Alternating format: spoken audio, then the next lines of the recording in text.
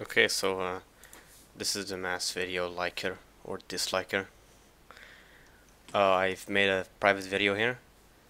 It's nothing much, it's this. Okay, so uh, back to the actual tool. I've uh, enabled it to 5000 and whenever I like, 5000 likes, dislike, 5000 dislikes. I can unlike and like.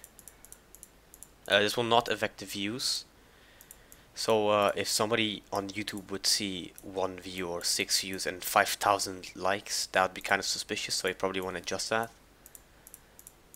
So yeah, it also works on comments. Here I made a comment a, a second ago, can like it. Disliking it, it I don't think it won't do anything on YouTube, so it's just, it won't even do anything, so you can only like comments really anymore. I don't even know why it's still here. It's kind of dumb. It's like plus one, but like disguised. It's kind of stupid actually because you can't actually dislike. It's just a plus one like in Google Plus. Anyways, yeah, 5,000 likes, 5,000 dislikes, 5,000 likes. That's basically the tool here.